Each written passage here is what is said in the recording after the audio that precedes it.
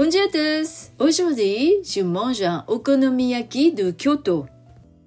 Ici, dans ce restaurant Kinoya, on fait griller soi-même. La dame de ce restaurant montre comment on doit faire. Elle remue assez énergiquement pour que tous les ingrédients soient bien mélangés. Je commence moi aussi. J'ai commandé un okonomiyaki mix, porc, bœuf et aussi fruits de mer. J'étale la pâte. Quand elle dit que c'est bon, je retourne la galette. Il faut laisser un, petit moment et quand c'est cuit, on peut mettre la sauce. Cette sauce est un peu sucrée, salée et très goûteuse.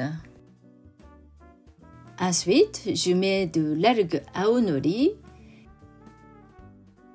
et de la bonite râpée, katsuobushi.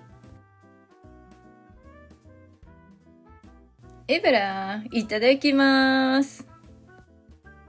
On mange plutôt avec des baguettes, mais on peut aussi manger avec une petite spatule.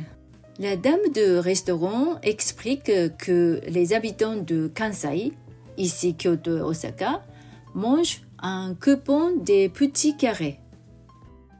Les habitants de Kanto vers Tokyo coupent comme on coupe une pizza. Elle ne sait pas pourquoi, mais c'est comme ça. La dame a commencé à aider sa mère dans ce restaurant quand elle était encore à l'école, il y a 50 ans. Maintenant, elle travaille seule avec son mari. Pas loin de ce restaurant Kinoya, il y a un petit temple Nishiki Tenmangu et aussi le marché Nishiki. Les magasins ferment assez tôt, vers 17 ou 18 heures, mais j'ai trouvé petit magasin de poissons où on peut encore manger. Il est 18 heures, c'est bien pour l'apéritif. On a commandé deux différentes sortes de saké frais et un dashimaki tamago pour grignoter. Le dashimaki tamago est chaud. Je mets de la ciboule et du daikon râpé avec un peu de sauce soja.